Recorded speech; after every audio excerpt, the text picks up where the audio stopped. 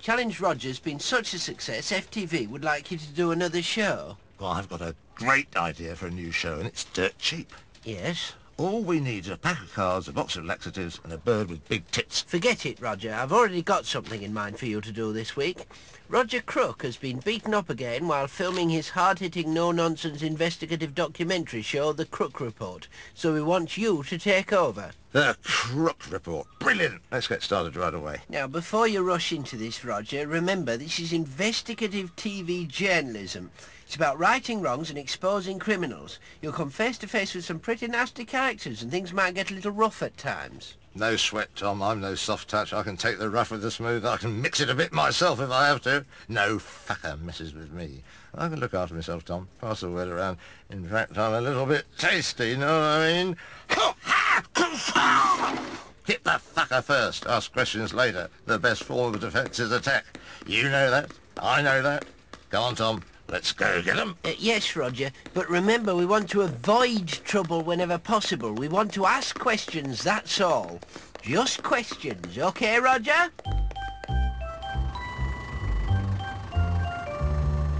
Right, Roger. We're investigating the slum landlord who owns this building. I want you to go in, take a look around, and interview a few of the tenants. Okay, Tom, here we go. I'll lead the way.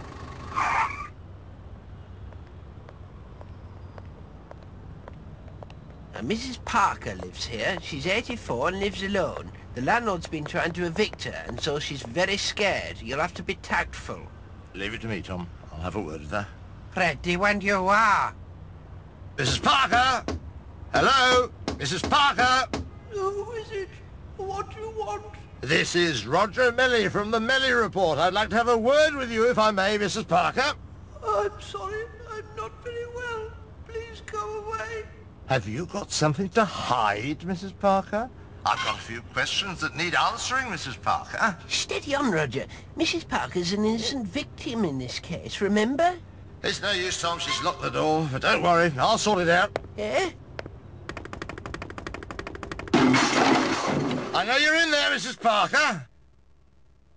Ah, there you are, Mrs. Parker. I wonder if I could just ask you a few questions. Help! Get out! Leave me alone! Please go away! Look, don't fuck with me, Mrs. Parker. Our viewers want certain answers from you.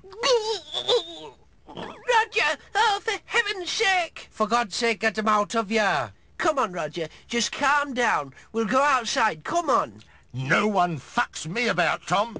Just take it easy. Can we get you a nice cup of tea, Mrs. Parker? Mrs. Parker? Roger, you've got to be calm, sympathetic and tactful at all times. Do you understand? I'm with you, Tom. Message received. I know what you're saying. You want me to try the softly, softly approach. That's it, exactly.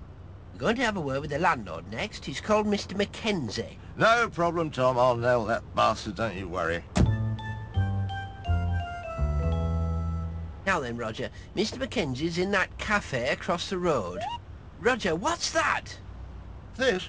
Oh, it's just a bit of insurance, Tom, in case things turn nasty. Don't worry, I won't use it unless I have to. Give that to me. You can't go around hitting people with a lump of lead pipe, you bloody idiot. Hmm? Now hurry up. Mr. Mackenzie will be leaving the cafe any minute now. Ask him about Mrs. Parker. Okay, Tom, will do. Now remember, be polite but persistent. Go on, Roger. I know you can do it.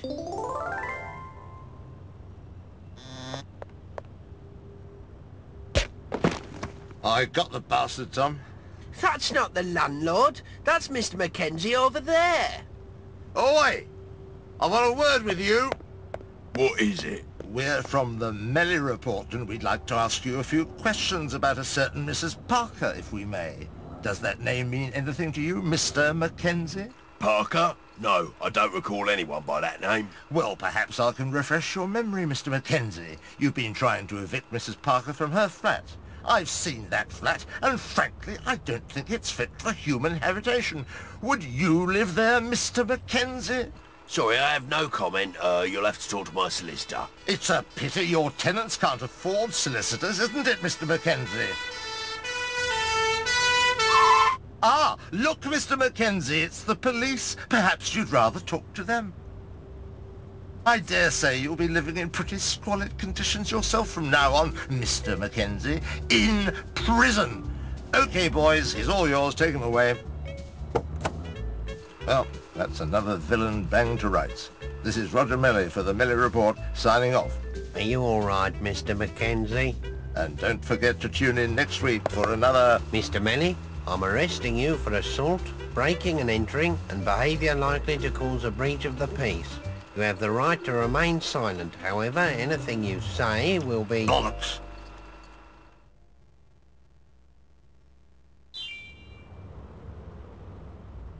Fucking hell, Tom. 250 quid fine. I was only doing my job. It's a bloody police state, that's what it is. Never mind that now, Roger. Are you familiar with Whose Line Is It Now? Um... The improvisational comedy show for highbrow people. Oh, yeah, that's the one where that baldy bastard rings a bell and everyone has to say a word and then guess what his job is, something like that. No, no, no, Roger. You're thinking of something else. This is a show where Clive Sanderson invites talented comedy stars and actors to improvise humorous sketches and scenarios on the spot. Oh, yeah, yeah, yeah. Sure, I know that one. Anyway, multi-talented acting genius Kenneth Spanner has had to drop out of this week's show in order to perform a pioneering heart bypass operation at a top hospital. We're desperate for a replacement. Will you do it, Roger? Places, everyone? Are we ready to roll? Hey, hang on a minute. I haven't seen the script yet. No, Roger, there isn't a script. That's the whole point. It's spontaneous improvisation. You just make it up as you go along. Oh, it's uh, it's that, is it? Oh, right, right. I'm with you. Okay, um, so what's my first line? Oh, Christ. Forget lines and scripts, Roger. Just watch the others. You'll soon get the hang of it. And action! Hello, and welcome to the show that makes Homer's Odyssey look like a Greek tragedy. Hey? Tonight's guests are Ed Lardstein, Joseph Florence, John Nations, and Roger Mellie. So, without further ado, let's go on to our first game, in the style of... I'm going to ask Roger and John to improvise a scene in which a man visits the dentists in the style of a Sheridan Restoration comedy. You what? Aha, methinks, uh, forsooth, perchance, that ye hath cometh verily for a check-up. Tom, what the fuck is he on about? Cut! He's improvising, Roger. You have to do the same. I know all that, but he's got a fucking script. I haven't. Please, Roger, bear with us. If you just sit for a while and watch the others, I'm sure you'll get the hang of it.